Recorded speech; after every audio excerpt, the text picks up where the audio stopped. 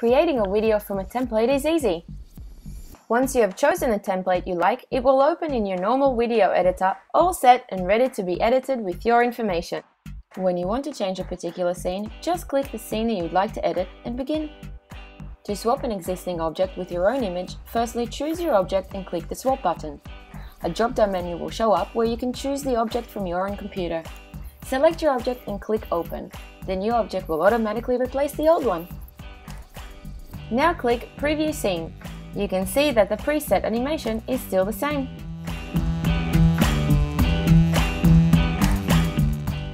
Now let's learn how to edit some text.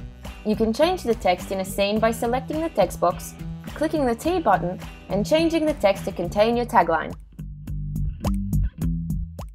You can also clone a scene if you need to add more content to your video. Just choose the scene you would like to copy, click the clone button above, and make slight changes to it where needed.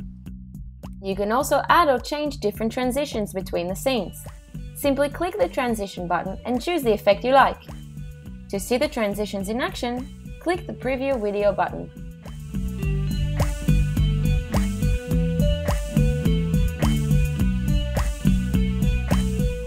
If you'd like, you can also add a little time to your scene.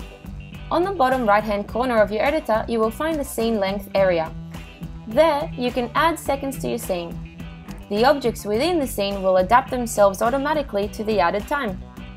To change the in or out effects of an object, simply choose the object, click the little arrow and change the effect.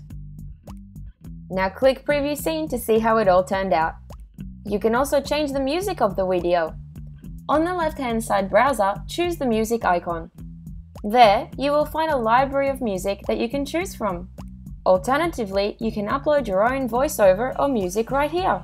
Simply click the Upload button, choose the MP3 file from your computer and click the Use button once it's uploaded.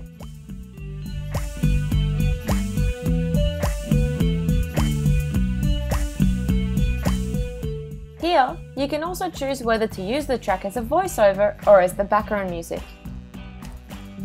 Once you have edited all your scenes and are happy with the way your video is looking, click the Share button to upload your video to YouTube or download it onto your computer. For more tips on other ways to animate or any other handy hints, go to our Learn page or subscribe to our YouTube channel. Happy videoing!